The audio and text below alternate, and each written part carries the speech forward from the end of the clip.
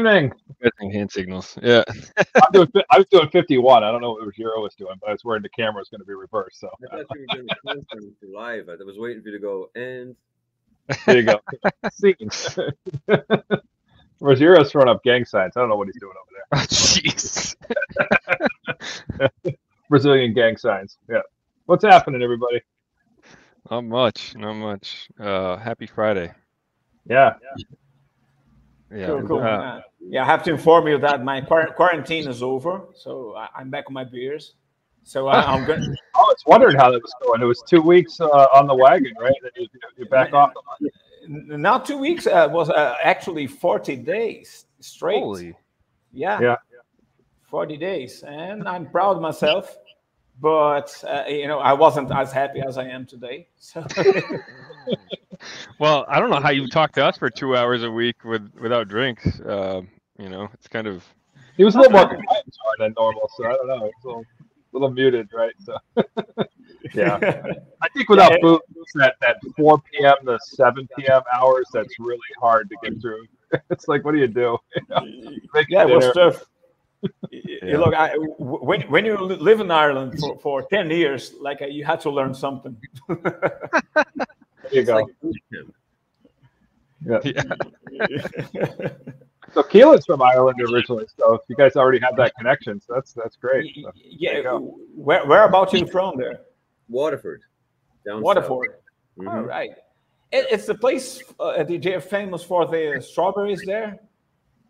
They're more famous for the crystal, Waterford crystal, but yeah, strawberries as well. Yeah, yeah. I haven't Well, been see, there. we I- would go on New Year's Eve if they dropped a big giant strawberry instead of a Waterford crystal thing. You know? Wow. I mean, I'd like to see it, but yeah. Yeah. Yeah. Well, we thank you for coming on. Um, I know uh, I reached out to you months ago, and um, at that point, I didn't know the, the comic book was coming out yet. So we had pushed back a bit till you, you had the project coming out, and uh, well, obviously it works out perfect because we're a comic book show too. So um, it's a good double whammy here. We we do horror authors a lot, and we do a lot of comic stuff. So we get both in one show. So. Um, yeah, I see you got the, uh, the the big poster there in the background for the the book cover there. That's awesome.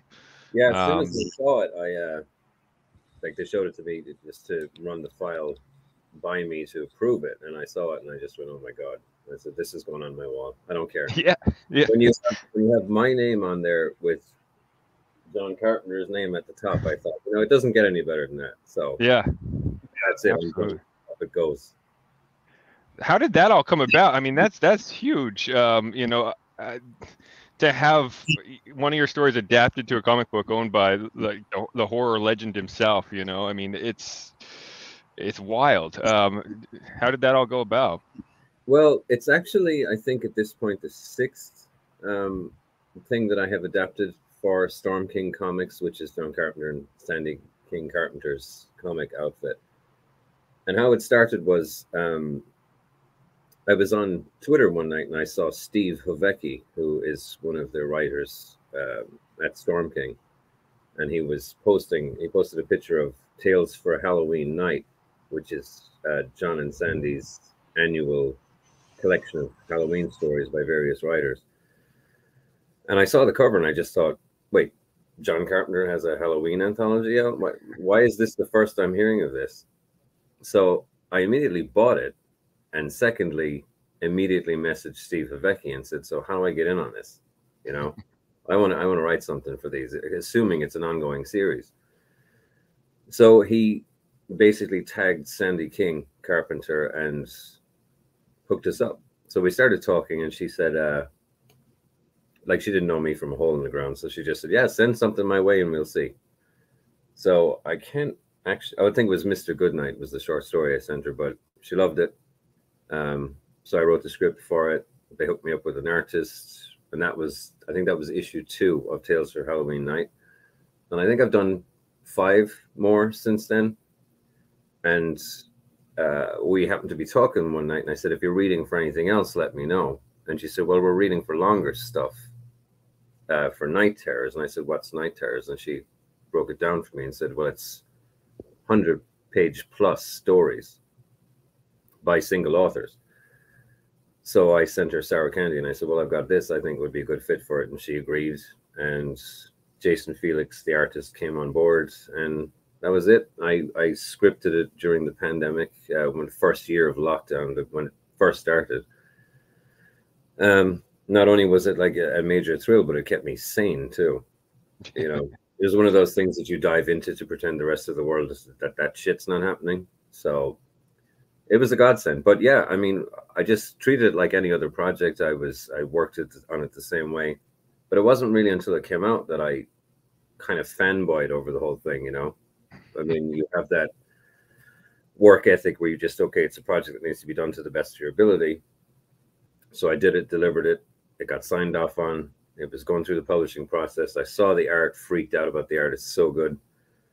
And then the book's about to be released, and I, I sat back and thought about it. I said, "Well, this is a this is a project I'm doing with John Carpenter and Sandy King Carpenter, and this is ridiculous. How did this happen?" I was asking myself the same questions you're probably going to be asking me, including that one. Like, how? I feel like most of the things that happen with us are like, how the heck did that happen? right. Yeah. Right. Oh, that's cool. I, I honestly, um, this was the because I'd read some of your your prose work, your books, uh, but I didn't realize that you had other comic stuff before Sour Candy. So I'll have to go back and look into that. But um, yeah, it's actually yeah. something I'm very much into. I mean, I kind of I was completely wet behind the ears when I first started it, but I, I basically gave myself a crash course over about six months on the just the rules of scripting and like like you would with anything else, try to familiarize yourself with it. And I'd read lots of graphic novels, but I'd never attempted to write one. So yeah, um, I think adapting those stories for the Tales for a Halloween Night series of anthologies kind of prepped me for finally being able to do something that long. yeah. And I think it worked out well. I'm really, really happy with it. Absolutely, yeah. It um, it, the story converts so well to to graphic novel form, and um, and like you said, the art is is just it's so unique too. I feel like I was reading a movie on a on a page. You know, it was so Mhm. cool. Um, so, you know, uh, hopefully, um, I don't know. Has this has this been optioned before? I mean, this would make a killer movie. Yeah, it was. It was optioned by Blumhouse when it first came out. Oh, yeah, was all, you know, jittery with excitement, but I've learned in the intervening years to be more, you know, wait for it. You know, yeah, you're sitting in the movie theater eating popcorn, watching the credits roll. Forget it.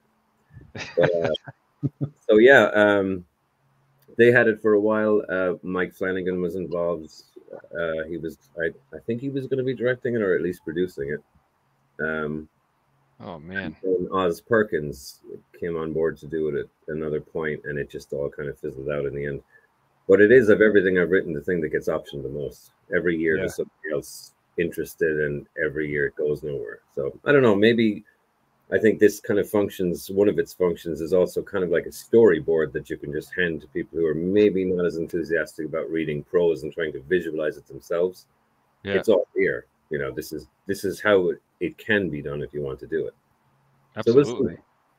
We'll see. There's been some interest already, which is kind of strange. Yesterday, Oh, nice. based, based on the graphic novel. So we'll Oh, see. okay. So, Yeah.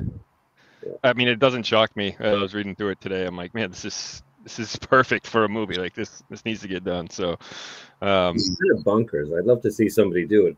a lot of the stuff I write can be more straightforward in terms of the development in the plot, but this one is just batshit. So I'd love to see somebody actually do it that way, you know, and not go, well, no, no, commercial audiences won't go for that or that or that, and just do it. Yeah. You know, yeah. I, I mean, I, I went into this book um, Mhm. intentionally blind. Like I had an idea of of what it was about, but I am so glad I didn't, you know, know the specifics because, like you said, it just, I mean, it's off the rails, you know. And as stuff just kept picking up, I'm like, holy shit, what is happening right now? This is wild. So, um, yeah, it's also probably the most fun I've ever had writing anything, both the graphic novel and the the novella itself. Like what I write tends to be pretty dark, so I don't always enjoy it. Some of the subject matter can be pretty heavy, and it's to say that you enjoyed writing it a bit of a stretch. But this one was just, I was like that at the keyboard.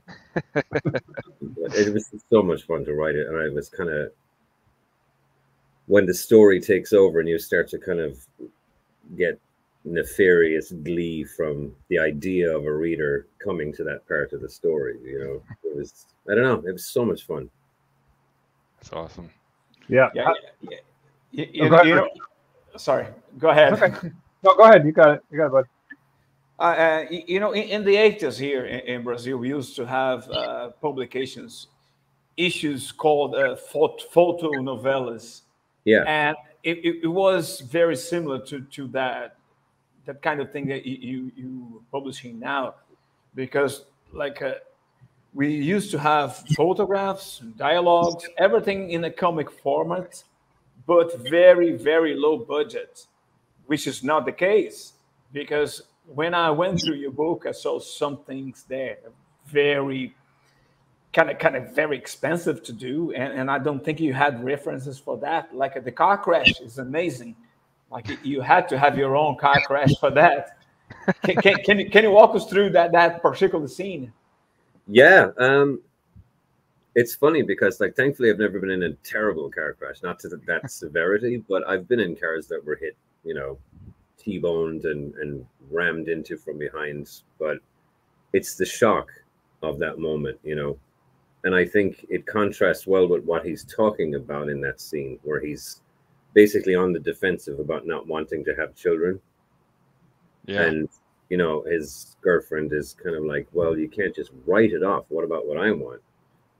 And as they're having this kind of low-key debate but him with a certain degree of smugness like this is in my opinion it's never going to change the car represents you know fate taking that option away from him that's the moment in which his whole world is going to be turned upside down and that choice is going to be removed and I needed it to be a sledgehammer moment. You know, it wouldn't have been enough if she just gone boink. You're right. Right. It needed to be. This is your wake up. You know, this is the moment of transference where this woman whose choice was taken away is about to be transferred to him, and there's a certain amount of you know. Kind of fun, I suppose, to be had from the idea that he's so cocksure about himself, that he's so set in his ways, and he embraces bachelorhood. And you know, I know I I pull my own strings. That's it. And all of a sudden, the cosmos comes down and bitch slaps that out of him. You know. so yeah, Yeah. it was it was a collision in in metaphorical and you know physical as well. It was it was the impact was going to be the impact that he was going to be suffering for the rest of the, the story. So yeah, that was the moment. That's the hinge moment for me. That literally the inciting incident where worlds collide. Yeah. So Definitely. I wanted it to be rough and impactful in every sense of the word, and to be visually a punch in the face. that was that's- ac- that was accomplished. Yeah. Yes. You know, Yeah. I mean, reading the the prose version too. I mean, the the graphic novel nailed it. You know, the, that Oh, whole yeah. scene is exactly the way you'd picture it. So It was um, actually, and and I know it's kind of, you know, expected of you to say this, but it, it, honest to God, is absolutely true. That when I saw that art, I just, there are times when, when people do their interpretations of your work where you go, well, that's interesting. It's not what I saw, but it's your interpretation. So that's what I expect, and I love it. But this was literally like Jason walked into a door in the side of my head and went, looked at all the cool things and went, oh, yeah. Yeah, It it was was- great. Great some of that it happens. really, really uncanny. I, I got spooked by some of it. It was so accurate. How did you? I mean- how did you and Jason end up uh, teaming up in that vetting process when you guys ended up deciding to work together? How did that relationship come about? You know what it was? I give all credit to uh, Sean Subsack at uh, he's an editor at um, at Storm King, and throughout all the short stories I've adapted for the Tales for Halloween thing, he reads the story and the script and has an instinct for who would do best with that material, art, like which artists would complement it, and he's never been wrong. And the styles of the stories that have been adapted are all so very different. So when it came to do this one, he immediately suggested Jason, and he pointed me to some of the concept work he'd done for PlayStation games or video games like uh, Skyrim and Dead Space and stuff like that. hmm And I thought for the nature of this story that would be perfect. But I I looked through his work and was astonished by it. but still, even looking at his work, I couldn't make leap from seeing his other work to, to imagining what he could do with this. And then when I saw it, I lost my mind. I, I just, I, I honestly can't imagine anyone doing a better job. Uh, yeah, I, I, would love to talk to Jason too because I, I, I he said he was going to watch, so maybe he can he can chime in on the chat. But I know these guys are just as curious because they're both the artists here. But um, you know the the style that, that he used, like it, you know, was was did he actually take photos and digitally add art over the like to, to it, it, it's wild like it looks so photorealistic um and it know, was baffling to me because if you see at the back of the book, he has the sketches. Yeah. There yeah. as well. So I just assumed that they were all sketches to um, inking to, you know, and his process baffles me, honestly. Everything about Jason baffles me because he's just. yeah, I, I, I, would just uh, disagree with John. The best thing is it is it's not realistic. It's more it, it, it, it, it's a comic on itself it uses photographs photographs but it isn't realistic because it, it's it's a mixed style that has a has a, an end and it, it, and it's very graphic in, in, in a violent way of inter interpreting that. Yeah. It's gory and the best thing it's not realistic. Like uh, it's far away from being realistic. It's dramatic i would say and, and it is scary as fuck. I would say that it's, it's about as realistic as nightmares are. Yeah, right. yeah, yeah. exactly. Uh, yeah. Like you That- wake up that- and go, "Oh my God, thank God that didn't happen. You know, That that lady is creepy. she is creepy. And I think, Yeah. why? How could he do that? and the Yeah. thing is that, that you were asking before about the car crash, but to talk about the woman there in the grocery store, that's what the, uh, inspired the original story was um, that I went into Walmart to get a bag of sour candy and a bunch of other stuff, a bunch of candy.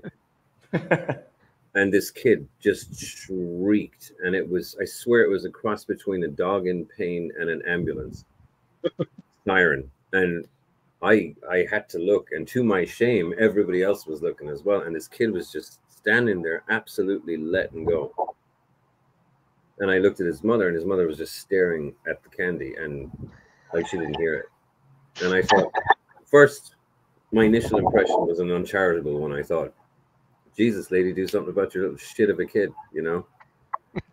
because I have like misophonia. It actually hurts to hear that. My, my whole friggin' skull vibrates. Sure. And the second thought then was, Jesus, she's just checked out. What must she have to deal with, you know? Because she's gone. She's just staring at the shelves.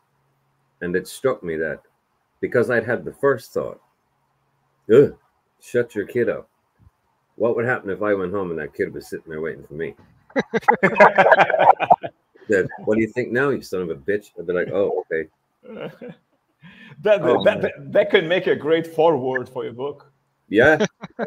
Well, it was, I mean, people ask me all the time where I got the idea, and that's exactly where I got the idea because, you know, it wasn't conscious as the best ideas aren't. But yeah, I felt so bad about that moment of judgment, you know, like you're a shitty kid. And I thought, well, God, you don't know what the kid's, what's wrong with the kid, or if the kid's okay, or you don't know what she's going through. So mind your business.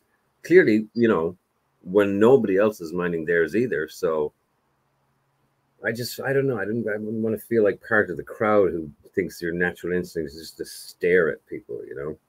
Yeah. I thought, well, you know, imagine if fate made me pay for that moment of just judgment and stuck that kid in my life instead and started changing it. I was like, That's perfect.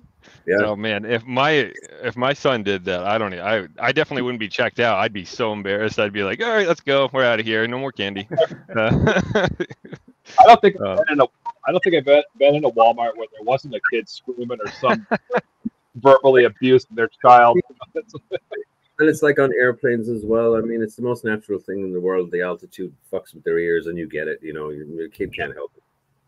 But it's what fascinated me more about the, than the kid itself was that zombie-like trance that the mother was in, and that made me wonder, well, what the hell is she going through? It could be, you know, it might have nothing to do with the kid, but she would just for that moment was gone. Maybe she was up. Maybe she was on dope. Who knows, right? She went drugged up or Could be depressed and shit. I don't know, but it just the visual of that kind of hit me right between the eyes, and I thought, well, I get to walk away from this. yeah. She doesn't. Yeah. What if I didn't either? You know? Yeah. yeah, that's perfect. Yeah, it was a good it was a, a good moment for stories. I feel bad for her and the, the child, but yeah. When you when you write about characters like that, do you find that the characters come to you and tell you their story, or do you feel that you already have that in place as part of your process? I think sometimes it's suggested by people, real people, and, and when I see them, the the kind of backstory starts to feed itself to me sometimes. And of course, you know, I, I mean, I like to people watch. There was even a story idea I had at one time about people watching, where this group of friends were playing a game to try and guess everybody's backstory, and then it got darker, and they started guessing how everyone dies, and then it started happening and they were trying to question whether they were causing it. And Sure. they started unraveling the three of them. There's romantic rivalry and shit. But it was fun. But yeah, I love doing that. And there's just people you see walking by and you go, well, this guy probably, you know, murdered someone this morning. He keeps doing this with his hands. It's because he can't get the blood off, you know? So yeah, I mean it does. But then when I sit down with it, it becomes a friggin' you know thesis on that person. I don't use all of it, but I have enough to make them seem as real as I need them to be. Sure.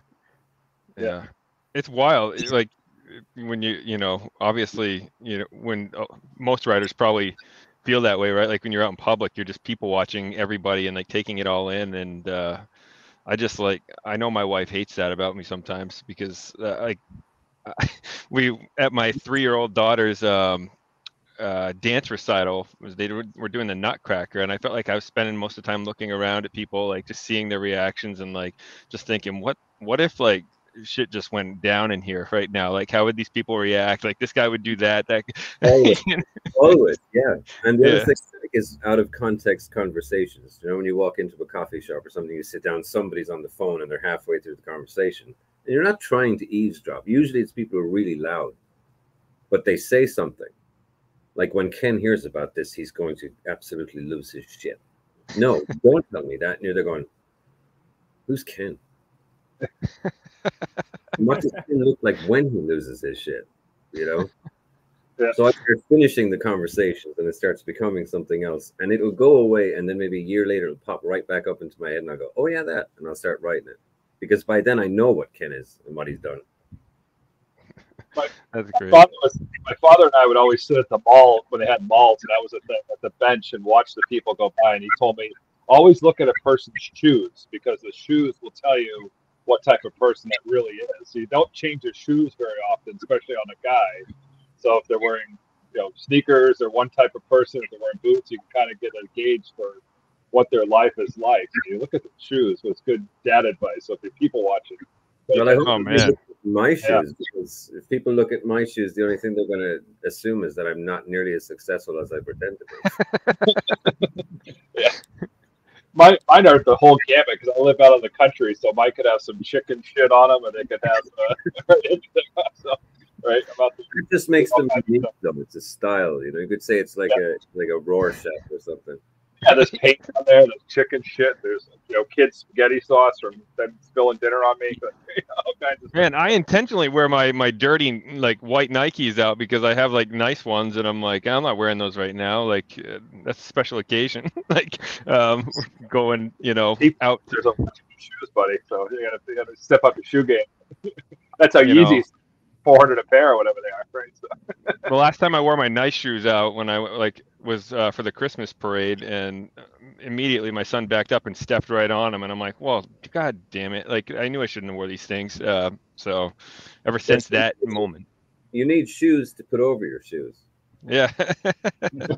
those like rubber long shoes I used to have, the rubber ones. Yeah, yeah, yeah, yeah. Like spats. Do you remember those? You can just like slide them on over. Yep. yeah. Yeah, yeah, yeah. Uh, Kealan, uh, when you say you, you like people watching, that makes me think that you're a type of meditative type of, of person.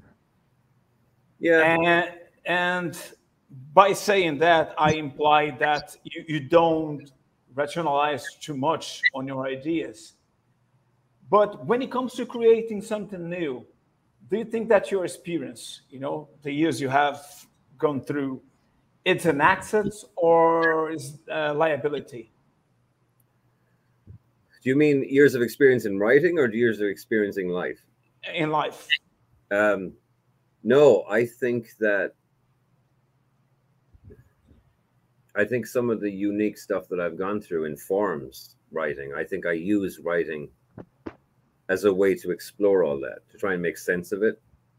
Um, whether it be, you know, the loss of a loved one or um, romantic dissolutions, you know, it can be anything. Weird encounters, they can often serve as the kickoff point, or they can just be a component um, that informs a story, or they can be the whole theme of it. But I am always in whatever I write trying to understand something. Even Sour Candy was about going through reaching that point in my life with no kids, you know, of never having had children. And I would often have that conversation with myself. Well, do you want them? And half of me would be, yeah, I would love it. I do have that paternal instinct. And the other half of it questions whether I'd be any good at it.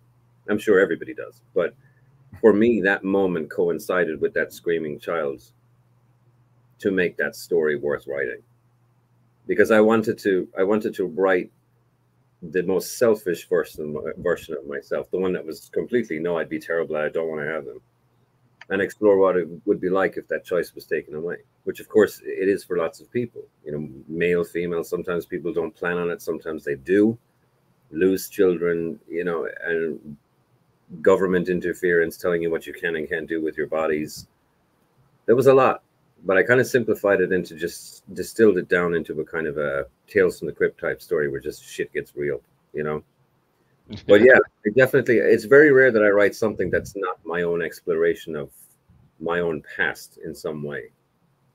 Just trying to make sense of it, and hopefully, some of the stories have helped me cope with some of my losses or insecurities, even. You know, um, they're all canvases for the things that I need to put in front of me to look at them in an effort to decode them. So yeah, I think I think it's been a great benefit. On the flip side, it would have been nice not to go through a lot of that shit. Just so right? yeah, sure. Mm-hmm. But you, you're you, you're a better artist because of that.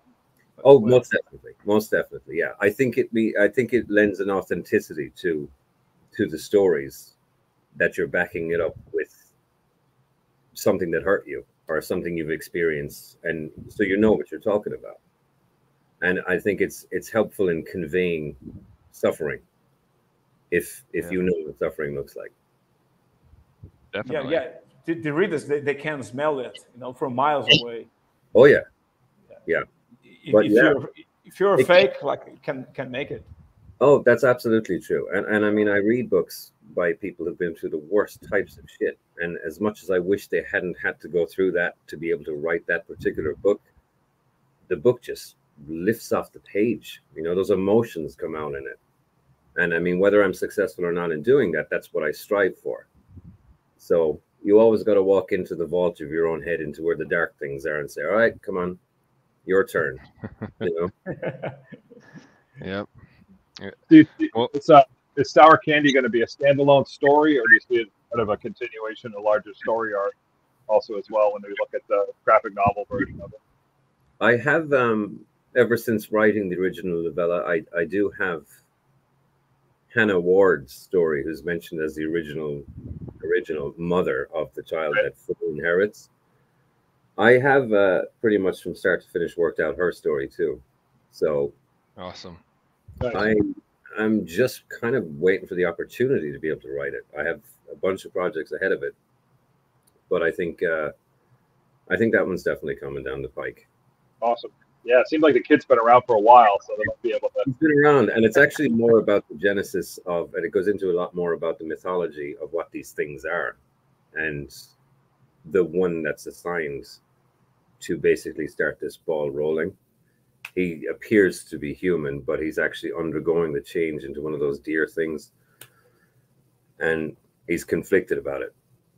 So yeah, it's kind of intriguing. It's intriguing enough that I want to. I definitely want to sit down and write it. It's just a matter of finding the time to do it. Right.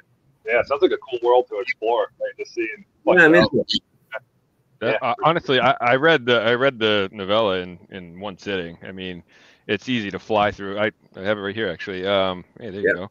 The de- there's the deer. You're talking about the deer people, uh, the elders, right? Um, so, uh, yeah, um, I, I um, I could definitely see that uh, that backstory. That would be awesome. So that's exciting to to think about. But um, I, I we talked about this off air. I wanted to to bring it up uh, without spoiling too much, but um, you know the difference between the novella and the graphic novel. There are some some differences in there. Stuff you added um, that you know will surprise people from reading the novella. So. Um, I don't know how much you want to talk about that. You know, we don't want to spoil anything, but um, uh, I think it's important for people that are going to pick that up to know, uh, you know, there's some surprises in there. So Yeah, Right. I mean, I as cool as it is to have that project um, for people who have read the original novella, I didn't necessarily want them to just see the same exact story beat for beat in a comic version. I wanted uh, I wanted to put some surprises in there, and I think in particular, the ending uh, is tweaked a little bit so that it makes a bit more sense. Um, yeah, it was a cool opportunity for me to address what I thought were some of the novella's shortcomings as well, and they're there. But um, yeah, that was a great that was a great opportunity. But also to throw in some more monsters and some unique unique events that aren't in the novella that I kind of retroactively wish were now. But as soon as I uh, as soon as I knew we were going to have the opportunity to show in graphic novel form what these things were, I wanted to I think I kind of wanted to throw Jason some challenges too because I I thought here's a regular scene in the novella where not much happens, so just monsters. I'm going to pack this thing with monsters and see what happens. of course, he rose to the challenge. It looks spectacular, but yeah, I definitely wanted to throw some changes in there so that people who are familiar with the story could enjoy it in another way, you know, and see I have some surprises for them. I uh, I today um, I, I was I grabbed the novella after I read the graphic novel and I was like, wait a minute, um, I don't remember that. So I was like going back and forth, like looking at the two, and I'm like, it was kind of fun actually. But um, yeah, it's cool. And I just kind of fleshed out some of the stuff. There's the implication in the novella that you know his job has gone to shit and it's going to go to somewhere else. So I wanted to show that too because it gave us the opportunity to see how much he has declined visually in the graphic novel. Um, there's kind of a little, I guess you could call it jump scares if that actually applied to to books, but I wanted that little scene in the cab when he's decided to flee yeah, there's literally only one page, but I just wanted to throw that thing in. And I mean, that was how I had described that is exactly what Jason did with it, and it's absolutely bonkers. I loved it. yeah, yeah.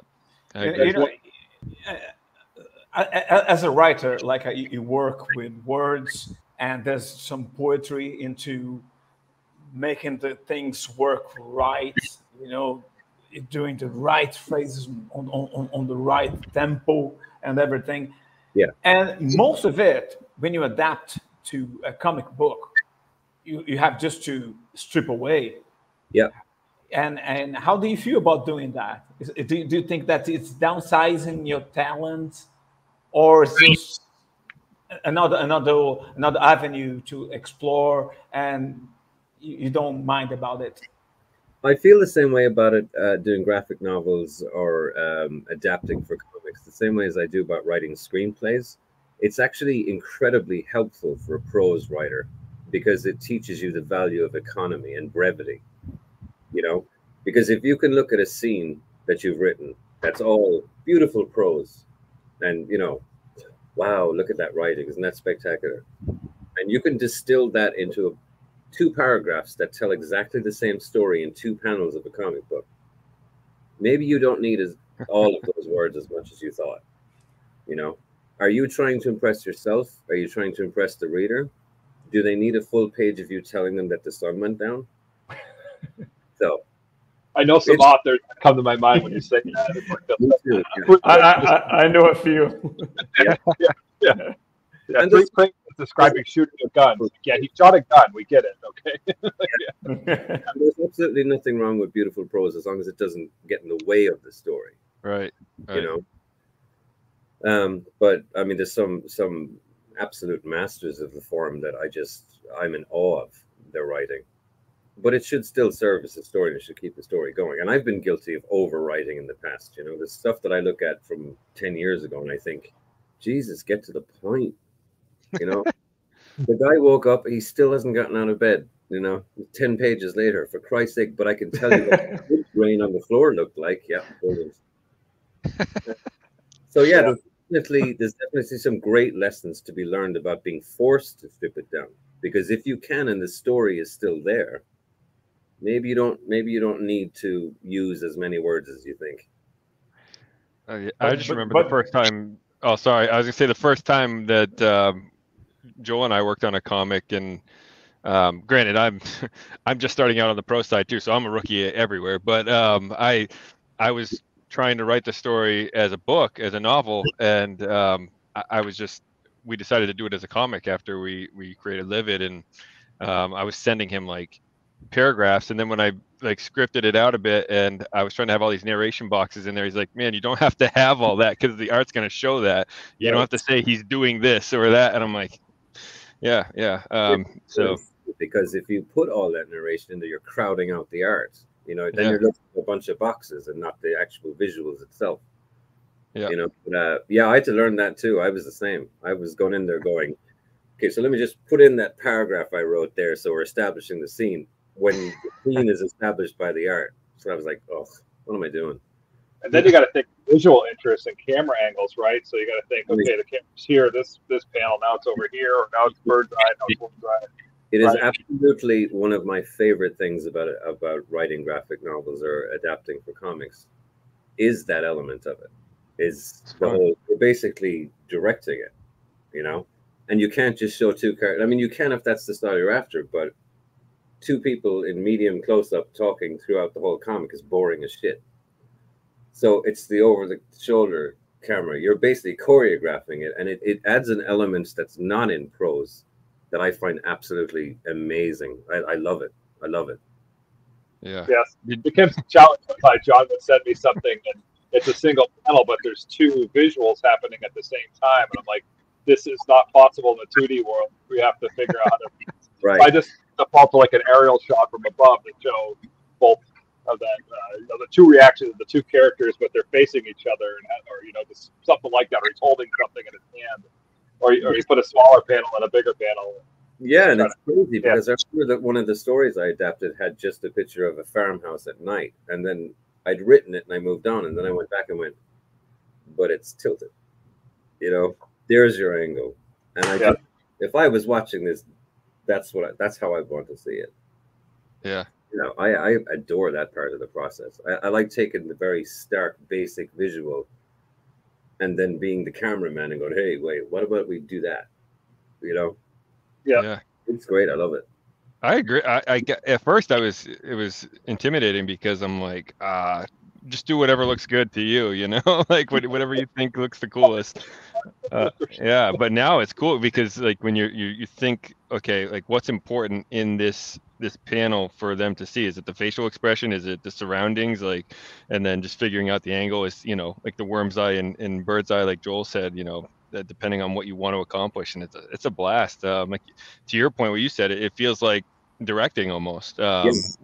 It really does. So, um, so I that I was going to ask you, uh, but you already answered it for me. Is you know, um, if you enjoyed this comic scripting versus writing prose, and uh, you know, the, there's a lot of differences between the two. So, I think the differences, yeah, make them, you know, you kind of can't really compare them. I, I like how much uh, script writing or adapting for comics has taught me, and I like how different it is.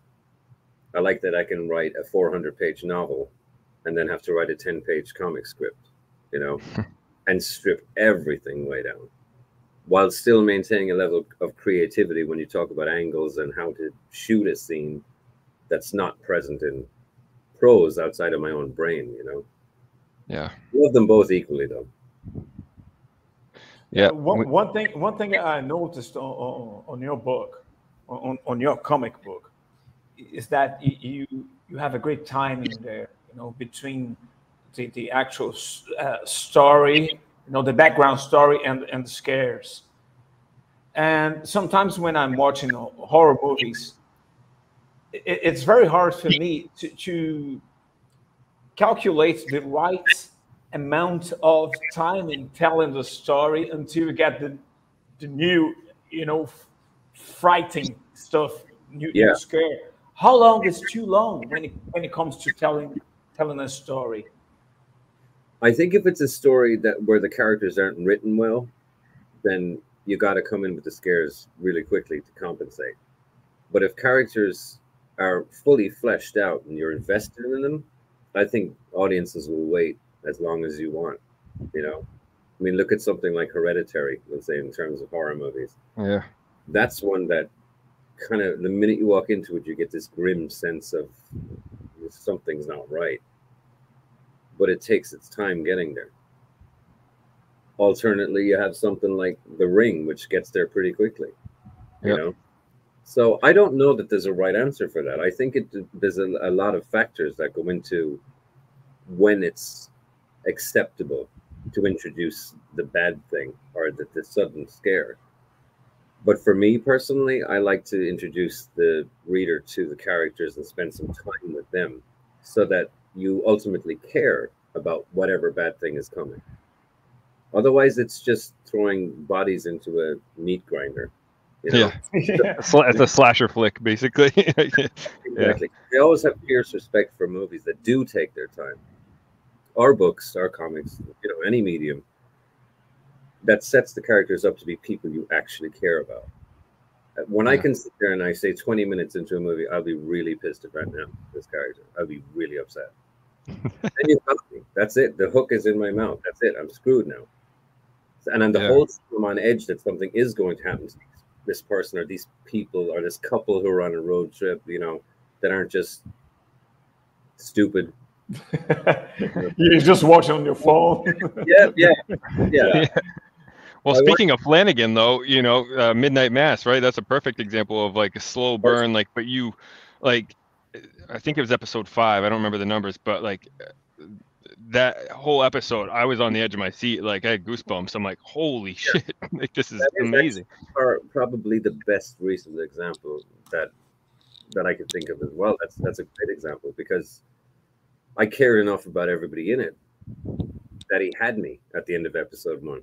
I was okay yeah. spending time with these people, but the problem is that the term "slow burn" has been vilified. It usually equates to boring as shit for the casual moviegoer, you know? Yeah. When to me, that just means that I'm a sucker for that. If I hear, oh, it's a slow burn. I don't know if Rogerio realized he's not muted there. he's got his kid, I think. oh, I was gonna that that body he had tied up downstairs somehow taking a break through the door. Yeah, he's haunted from time to time. Yeah, I think of uh, character development too. A couple things. Um, was like uh, Ex Machina was like that. I don't know if you saw that. That was a great film. Yeah. Film. Yeah. And then also obviously The Walking Dead used that card a lot. And then uh, I feel like they got almost too many characters. So it's hard to kind of emotionally connect the one. They kind of revisited that when they went back in and started spending more time with character development. Everyone's like, "No, dude, we want more zombies and gore and, and you know well, crazy stuff." Character By then, you know, it, it yeah. makes sense really to just to shift the algorithm at that late stage. You you've already gotten the type of audience who have come to expect a certain ratio, and instead you're coming in going, "Oh, we're going to do a season of all the character work," and people are going to be like, "Brains, man, give them." You know? yeah. yeah, pretty much. Yeah. Um, you you won the Bram Stoker Award back in 2005 what was that like for you, and what did you do to celebrate? I'm not sure I can tell you. Um, I keep it, uh, keep it legal, fun. that's why I can't tell you. But it was um, it was uh, it was surreal because um, I thought there was absolutely no chance of winning that. I didn't even go to the ceremony. I was like, why? spend all. I'm a broke ass writer. We're gonna fly there just to lose. Um, so I remember the writer Lee Thomas actually messaged me. This was Jesus, how long ago it was AOL. Um, AOL IM. Yeah, right. AIM. Yeah. yeah, back in the 1800s. Yeah. But um, he messaged me and said congratulations, and I was like, literally, instead of like sitting by the computer waiting for the results, I stopped doing shit. I heard a beep on the computer, came over, and he went congratulations, and I said for what? You, you won the Stoker, and I went, no, I didn't. And he went, yeah, you did. And I went, oh, okay, thanks. and then I went and made a cup of coffee and was kind of just sitting there going, nah, no, that didn't happen, you know? And then I called my mom in Ireland and told her, and she'd been paying a lot more attention to this stuff than I had. And when I told her, she dropped the phone, and I could hear her out in the back garden doing a jig. That's awesome. That's when she, she was screaming at the top of her lungs. The neighbors were like, "Are you okay?" She's like, "Woo!" so, uh, so that's what that. What, uh, hearing that, I was like, "Oh Jesus, that's real." Right? Yeah. I got I got spectacularly drunk for about two days after that. Oh, good. so I can't, I can't really tell you how I celebrated because I can't remember how I celebrated. Fair enough. But it was yeah. fantastic. Yeah, I was I was really I was really shocked. I think that I think that the category I was in had Stephen King in it, and I just automatically assume if he's in your category, go home. Yeah, yeah. But uh, right. it was it was crazy. That's awesome.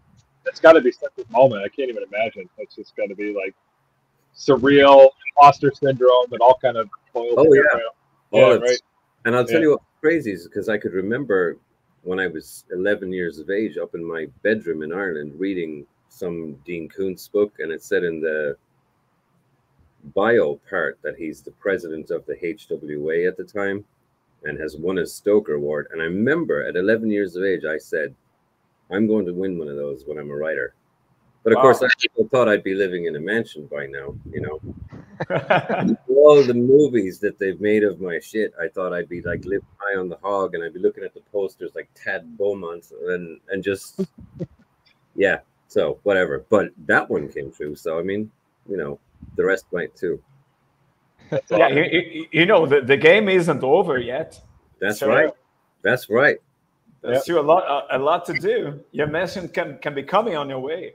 Yeah. Well, and as you want to talk full circle, the idea that I would ever be involved in any capacity with something that had John Carpenter's name on it is just forget it.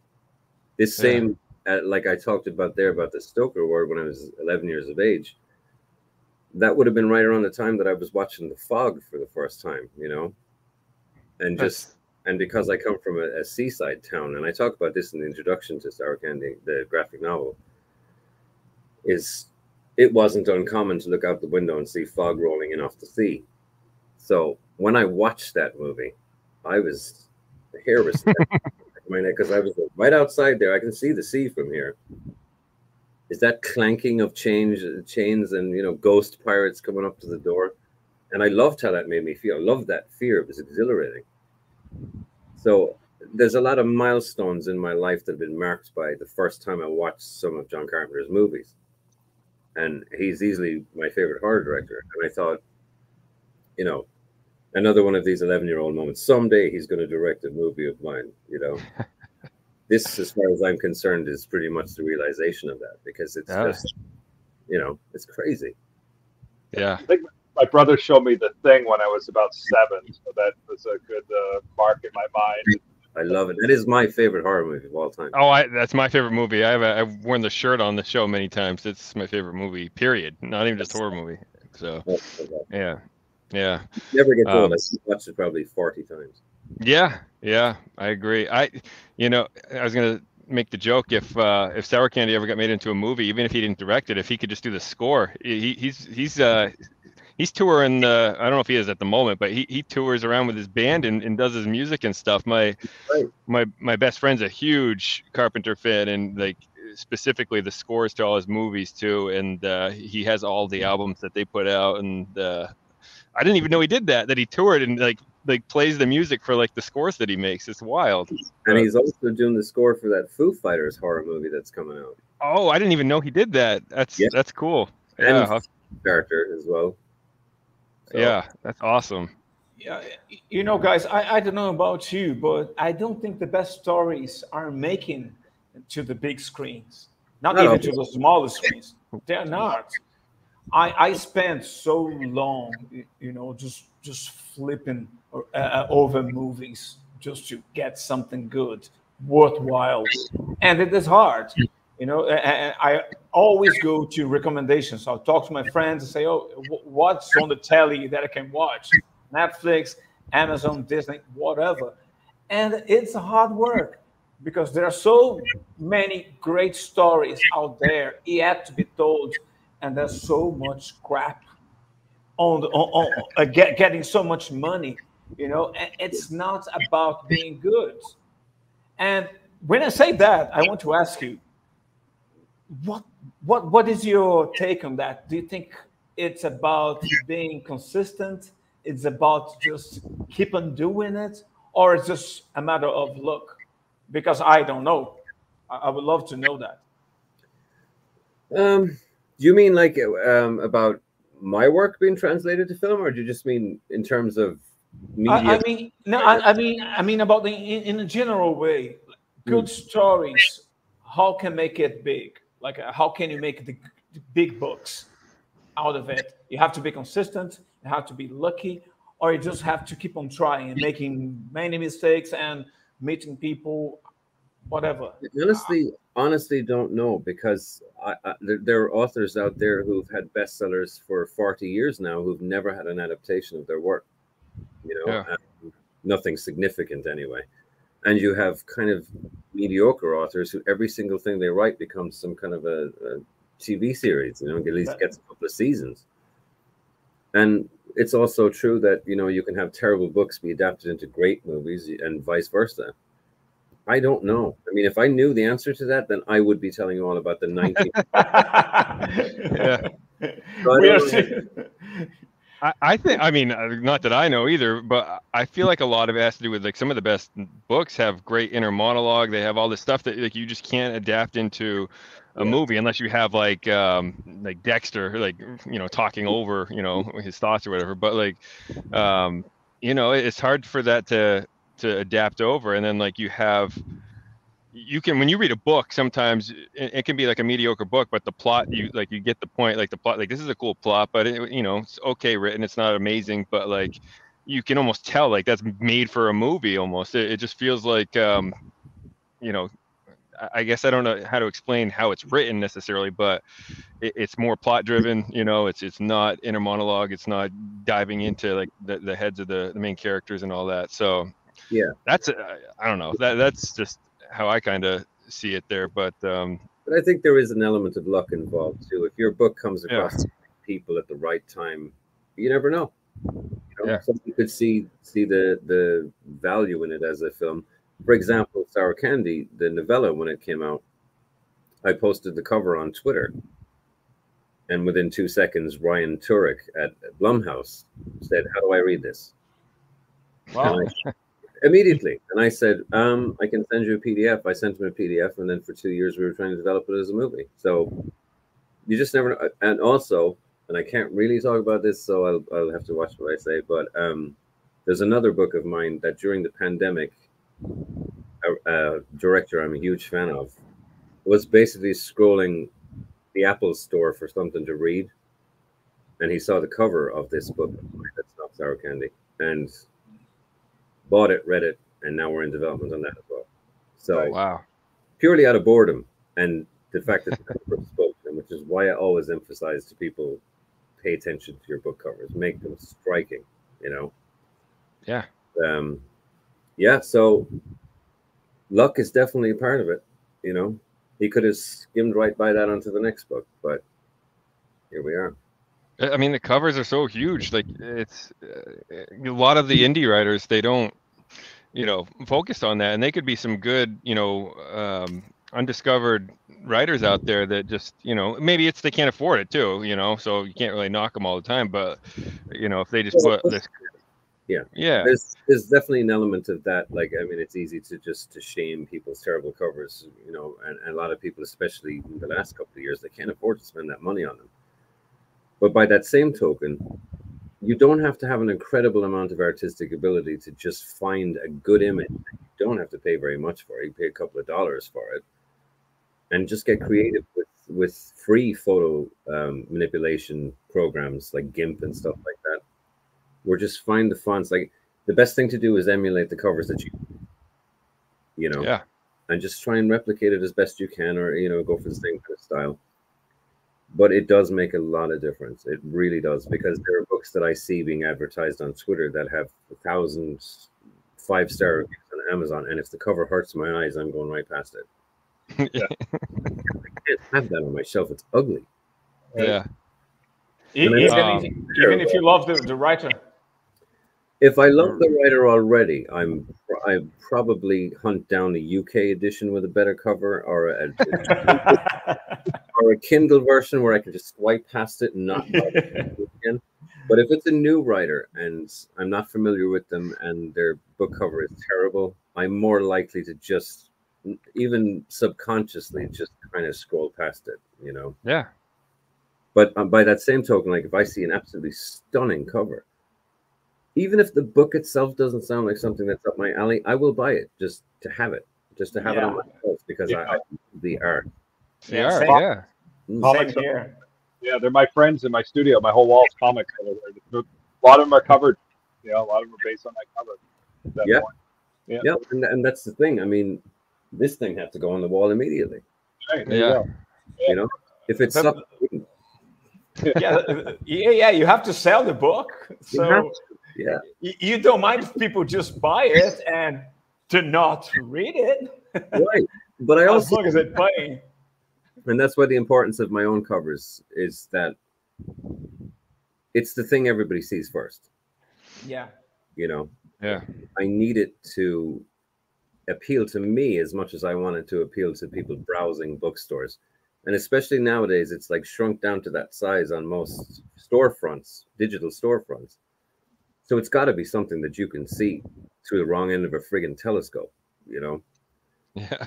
So that's why I sometimes keep them very basic. Like Sour Candy's, as you saw, is like red with just that image. It shows up really well, small, blanky, black with a white baby's pram in it, or, or what is it? Um, what what is the American equivalent of the stroller? Stroller, right? yeah. Um, House on Abigail Lane has the sunflower. I tend to like images that are stark, but you know, you shrink those way down, you'll still see that. It'll make you curious. What is that? Oh, ooh, okay. Yeah. I'll check it out. So yeah, The red background really is like killer. Like it, it catches a lot of people's eye. But uh, yeah, we talked about doing that with some of our comics. We just love the, the look of the red background. But um, you you did uh, recently. You did uh, Brian Keene's Terminal, his author's edition uh, cover. Um, so, um, like I said off air, I didn't even realize you you did cover work. So um, I that's one of my favorite books that I've. I, I I am embarrassed to admit I didn't read it till the author's edition because I love Brian Keene, but. Um, that book is amazing. Um, and I, when I saw the cover, I'm like, oh, that's so awesome. And and then I, I was like, wait, he he did that cover? I'm like, no shit. so, um, yeah, that was he when he wrote to me about doing the cover for that. I've done a couple for him, but that one, I- I remember reading that and really liking that book too. So it helped that I'd read it, but also I hated the original cover that was done for that book. It was yeah, boring. You know, I remember thinking that, this was long before I was designing covers. I just saw the book, I bought it, read it, hated the cover. So I thought if we're going to do the preferred edition, you should have his preferred cover. And whenever I I watch Brian's tweets and the way he talks, you know, and the attitude he has, I thought, I know he likes Sons of Anarchy. And do you remember the promos for those always had that kind of yeah, dash of red on them. That's kind of what inspired that. I said, this suits his personality, it suits the book, and it just looks kick ass. It's actually one of my favorite covers that I've done. I'm, I was really pleased with that one. yeah, it's Uh, great. Yeah, yeah, Kealan, I, I- I want to use some of your experience, some of- of your expertise on creating titles. And by the way, Sour Candy is a great title. And do you think there's a, a cover has to have a title and a subtitle? And if you have a good, great title, what kind of subtitle would you put on it? Something giving a hint of the story, something catchy. How would you do it? I'm asking it because we, at the moment, we are struggling. I figured there was the reason. Yeah. Um, yeah. Well, I mean, the most obvious thing is the title should be evocative. I mean, I'm I try to steer away from boring titles because you know even if it's perfect for the story, if it's a boring title, you're already half losing whoever's looking at it. Like for instance, Sour Candy's original title was The Foundling, which is mealy mouthed, and nobody's going to remember it um, because you know the, foundling is the the child in it, and I, I just I don't know. So most of the books that I've done, the title you see is the fourth or fifth one that came to me. Uh, but as far as subtitles go, honestly, I tend to either make it enigmatic and mysterious, or just if the story lends itself well to the kind of movie tagline.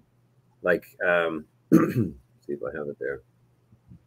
Um, have it somewhere. Um, Blanky has underneath it the gift that keeps on living. You know, so if you can come up with something clever, play on words, or something that refers to, like that's accurate, refers to the plot, and makes it mysterious without giving too much away, I say go for it, or otherwise don't. Just just use the title. Yeah. Of course, the best ever is uh, in space. No one can hear you scream, right? So, Oh yeah, oh, what a Yeah. great! they nailed that with Alien. fantastic. Yeah. Yeah. Yeah. Uh, oh, oh, yeah. I'm sorry, I had pulled this up earlier. Yeah. Um, here's the, the cover, uh, minus the the sidebars there. I don't know. Uh, oh, this is because that's for the audiobook. I got it. Um, Mhm. but um, yeah, I love this cover. So I just wanted to share that when we were talking about it, but didn't want to interrupt our conversation. So um, Yeah, we're at But- the hour too. Just wanted to check Yep. in. So yeah, reach that point. So there we go. Awesome. So yeah, well, thanks for uh, coming tonight, Kealan. Uh, let you get the last word. So uh, tell us where we can find Sour Candy. Pick that up, and uh, what else, where else you got going on coming up in the future? Got the last word. All right. Uh, Sour Candy is available in comic book shops now. Um, and I think it's uh, available on online stores, Amazon, etc., on March 1st. Nice. Am, well, I'll, I'll just so you know, Amazon. I thought I was going to get it March first. Amazon told me it'd be here Sunday, so we'll see. Um, Yeah. Um, well, I saw uh, James thought, tweeted out he thought it was funny that uh, um, you can buy it at Walmart because of the, the you know the the opening scene in Walmart there. It's kind of Mhm. funny. So I think um, that's probably the only agree the only reason they agreed to stock it. Yeah. I'll have a, have a, a spinner rack in the candy aisle of all the WalMarts would be awesome to have. there. Wouldn't it? Yeah. Yeah. that'd be great. comes in a free bag of sour candy. That's awesome. I do that too. Great. Awesome. Well, thanks again so much for joining us tonight. Anything else you got coming up down the pike you want to pop on and uh, grace us with your presence, uh, certainly let us know. Be- I'd be Happy. delighted anytime. Thanks for having me. Yeah, Oh, it's been a thanks. yeah, Thank keep you, up the, yeah, keep up the great work and uh, keep us posted. Anything coming up, we we tend to adopt people when they come on, so we'll be uh, pushing. Hey, I've been looking for a home, so that works for me. You know, I just have to make sure you eat the sour candy first. There you go. there you go. All right. Awesome. Have a good week, everybody. Kealan. Yeah, have a have a great night. Thanks, Kealan. Take care.